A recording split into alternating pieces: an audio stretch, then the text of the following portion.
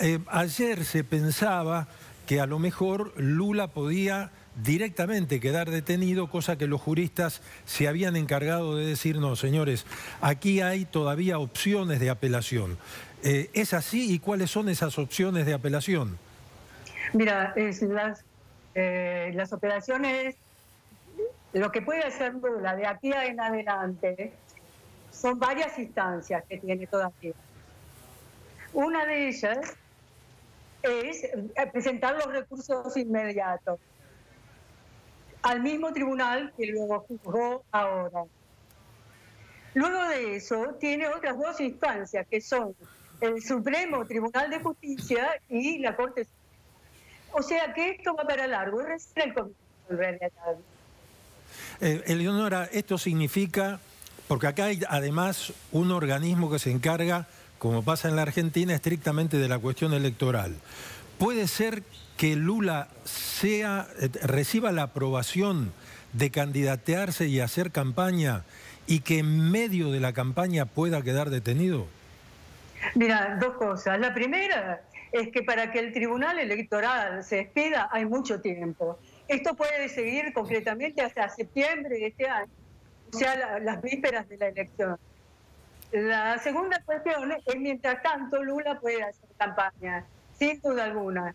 Y de hecho es lo que él va a hacer, va a empezar a hacer campaña con nuevas caravanas en el exterior de Brasil y nuevos pasos en esa dirección. Incluso van a eh, sacar a una, ahora una carta del pueblo brasileño, al estilo de la que sacó en el año 2002.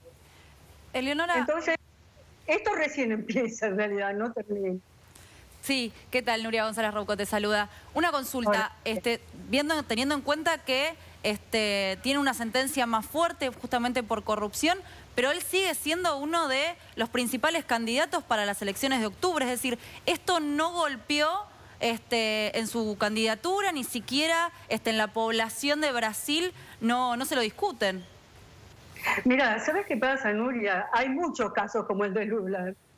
Eh, yo no los voy a mencionar, pero hoy por hoy es muy difícil encontrar un candidato ficha limpia, como dicen aquí. Entonces, ¿cuál es el recuerdo que se tiene del presidente? Es lo que dijo el ministro de Hacienda actual, Enrique Meireles, que fue presidente del Banco Central durante Lula. El recuerdo que hay es que él hizo una buena presidencia y que mucha gente pasó a la clase media. Sí. Esto es lo que el pueblo brasileño recuerda.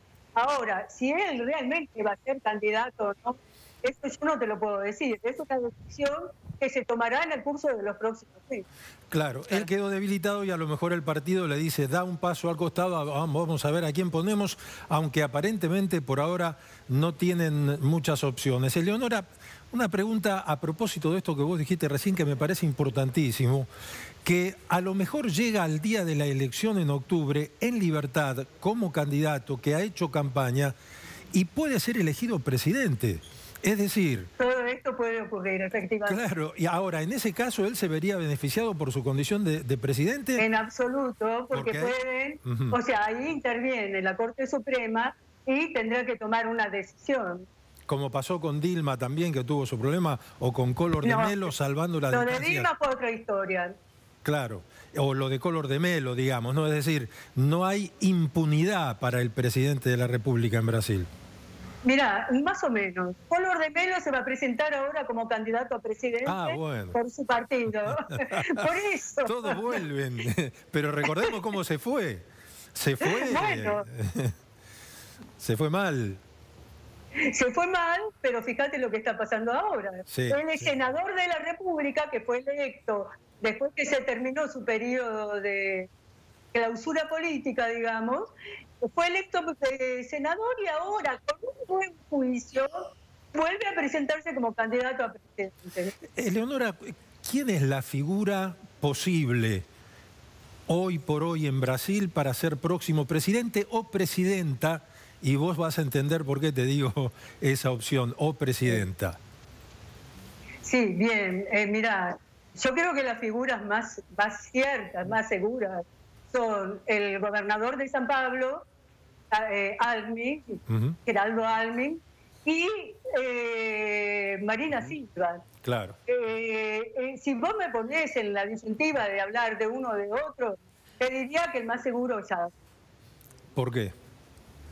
Porque Álvarez ya es gobernador, tiene un partido detrás que es muy sólido, que es el partido, que es la socialdemocracia, y tiene una estructura de poder.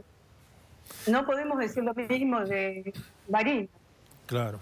Eleonora, eh, eh, yo, viste, la palabra grieta ya está tan manoseada que no sé, o, o la división social en Brasil. Eh, ¿Se da claramente entre las clases más pobres en favor de Lula y las más pudientes o la clase media en su contra? Mira, eh, yo te diría lo siguiente, es hasta una división regional. Ah. ¿Por qué esto? Porque justamente eh, Lula representa el nordeste del país, el nordeste y el norte, que es la zona menos, históricamente menos desarrollada y más sometida. Es ahí donde él tiene la gran expresión electoral. Eh, en el sur y sudeste, sobre todo en el sudeste del país, que es San Pablo, el Río de Janeiro, eh, su perfil es más bajo, o sea, tiene menos intenciones de voto, ¿no? Entonces, tendría que es más regional incluso que entre pobres y ricos. Mira vos, mira vos. Eh,